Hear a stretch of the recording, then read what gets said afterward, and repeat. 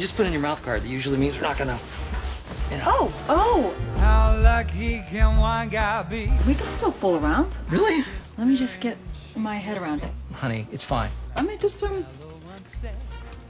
Yeah.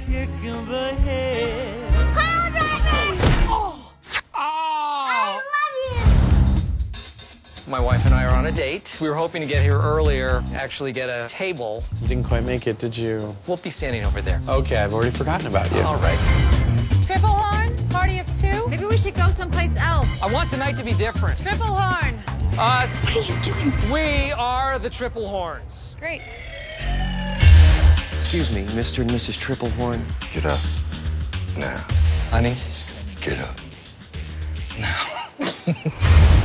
Did you really think you could steal from Joe Miletto? this is just a big misunderstanding. We are Phil and Claire Foster. Hey, God! No, he turned it sideways. Kill shot!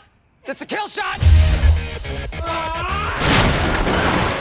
We are going to die! I don't want the kids to live with your mother. She's awful. I think I know someone who can help. Can't believe out of hundreds of clients, you remember this one guy. Well, I've always been good with names and faces. Claire Foster. Hey, hey, man. I do private security, then with rogue governments, black ops. You are good with your instruments. This is the NYPD. Oh my God, that's them.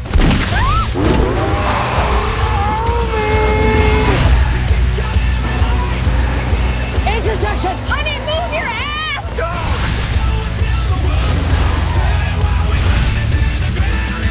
Find the Tripplehorns. What are you doing here? We didn't have a reservation, so we took yours, and now they think that we're you. You you just took our reservation? What kind of people are you? Not a big deal. They had no idea who they were dealing with. Ah. Ah.